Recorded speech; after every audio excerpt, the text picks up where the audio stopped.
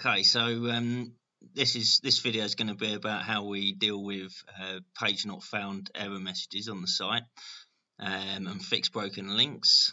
Um, it, there's a few different modules installed. Uh, the first one I'm going to quickly show you is uh, Search 404.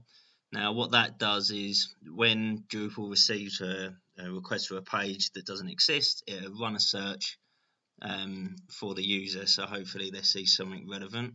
If we typed in uh, blue berries, which obviously there'd be nothing for. Uh, when we get here, we can easily add a URL uh, redirect uh, from this page to another.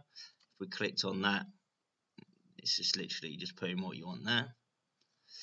Um, the other thing it does is if there's only one result, um, it'll just issue the redirect um, and, and save it for future use.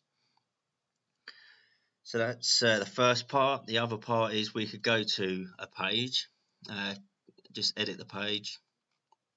If we go down, we've got now there's a URL redirects uh, tab, so you can just add in a URL, uh, you can add in a redirect to uh, this page from wherever you want.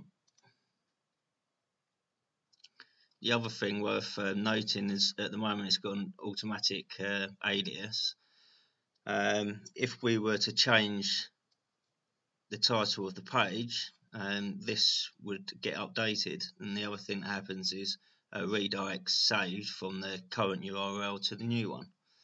Um, so that should uh, st stop the um, error messages, hopefully.